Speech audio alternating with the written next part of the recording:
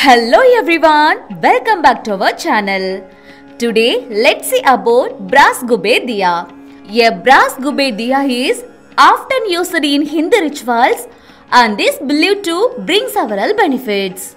Lighting a Kubera diya is believed to invoke the blessings of Lord Kuber, the god of wealth who attracts prosperity and financial stability. Kubera Vilak dispels negative energy and brings positive vibes into the home.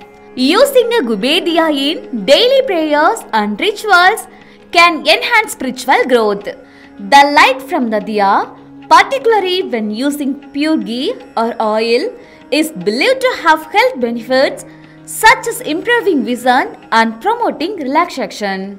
Do you want this Kubera Vilakku? Immediately order it at Sri website. Thank you. A brass Kuber Diya is often used in Hindu rituals and is believed to bring several benefits.